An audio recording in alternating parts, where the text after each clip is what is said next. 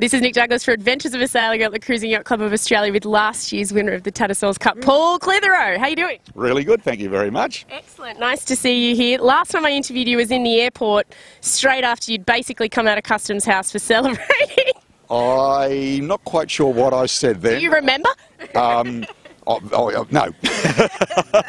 we were pretty excited, as you know. We, it was just really exciting for, uh, you know, for a group of people I've sailed with for a long time. Um, you know, a group of people who aren't paid to sail. You know, we're not bad amateurs, but you know, it was, you know, it was a really, we were really honoured. Actually, it was fantastic. And so we did have a few too many rums. You'd had a lot of rums, and we were discussing how you were the only team that went to Hobart without matching uniforms. But look at you now. Oh, yeah. You've upgraded. Well, I hate, I hate, I hate to tell you this. About eight of us have upgraded. Oh no! And so we're, you know, we're still going to look like going to Hobart on the start line. As always, we'll look like Steptoe and Son oh, we love it. But that's why so many love you. And, and last year, I have to say, uh, at this event, I was chatting to um, not only Kernsey but also Hiko together as, as the people's mm. favourite.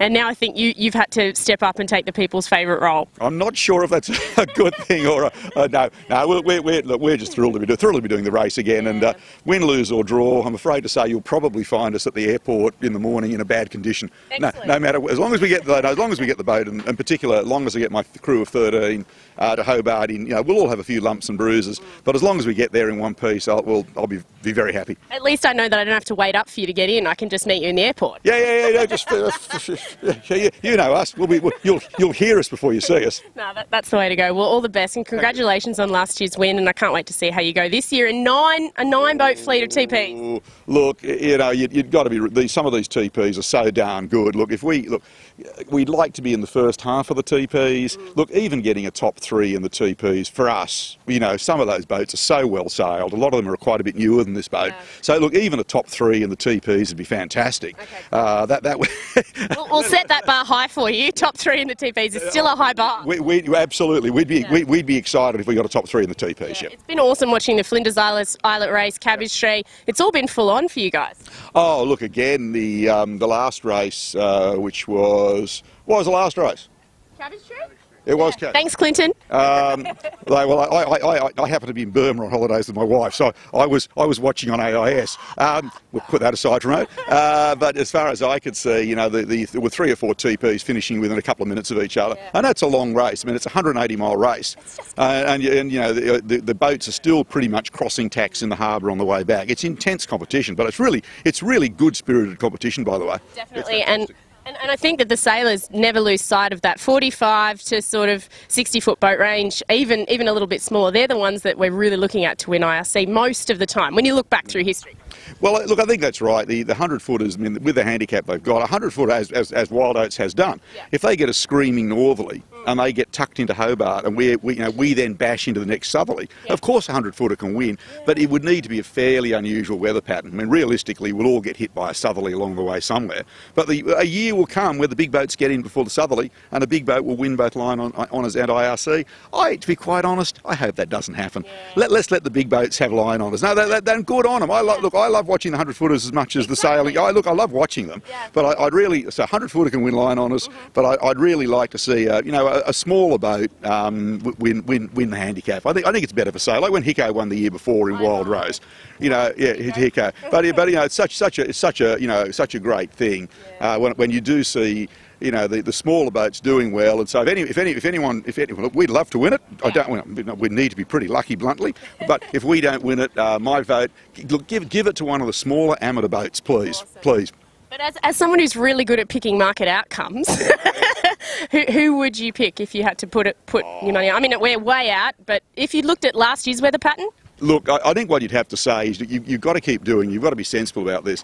It's interesting. The three TPs that, that survived the storm last year, yeah, yeah. they were the three Ps, including us, who'd done all of the Blue Water Series. Yeah. You, basically, if you're going to break stuff, break it before Hobart. So yeah, break it up. So for mine, you look, you, you, you really, for me, no, I, RKO with Gavin Brady on board, that sort of stuff. You know, these, these, there's all sorts of super boats out there. Uh, for me, if I had to put money on anyone, I'm not much of a gambling person, but look, China, Chinese Whisper. Yeah. You know, 'cause why would I say that? Last year she led the Blue Water point score into Hobart. The only reason we beat her was we got a bonus point for winning Hobart. We beat we beat Chinese Whisper by one point over six races. Once again this year, who's leading the Blue Water Series? Chinese Whisper. So you know, I, I think you'd be hard pressed to go past a, a well-sailed great boat. So if I had to, if I had to spend 20 bucks on a boat, uh, for me, I'd go Chinese Whisper.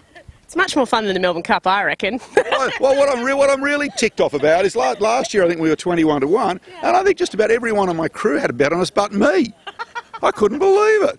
I said, well, All these people coming up saying, you know, put a, put, you know, put, put, put, put a hundred bucks, and so maybe we shouldn't listen to you about Chinese Whisper if you're not good at picking it. that's fair, that's fair.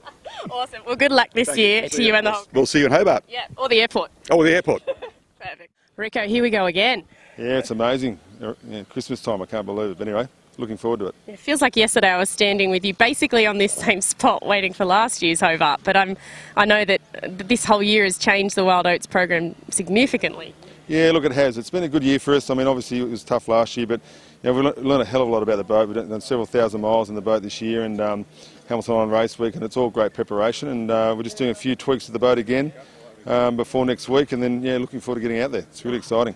So nice to see you out in the boat again finally for the big boat race as well. Are you doing the big boat race? Yeah, absolutely. We wouldn't miss that for the world. So it's uh, it's a, it's a lot of fun, and um, yeah, it sort of stops a lot of the waterfront banter. So it's kind of kind of good. But uh, no, look, the boat's really exciting. The changes we've done this year have, I think, been a big improvement. Cutting the DSS port out, you know, it's a 500 kilo saving for us, which is a big deal. So um, a lot of just nice tweaks, which all well, you know, add up to boat speed for us. So it's um, still comes down to doing a good job on the day, though. Yeah, exactly. And and we saw that last year. I think you, you even though you weren't maybe as prepared as you would have liked to be, you still put so much time and effort in, and sometimes it just doesn't all add up. Yeah, look, you can't. I mean, you can't explain to the, average person how much effort goes into these programs. You know, it's massive.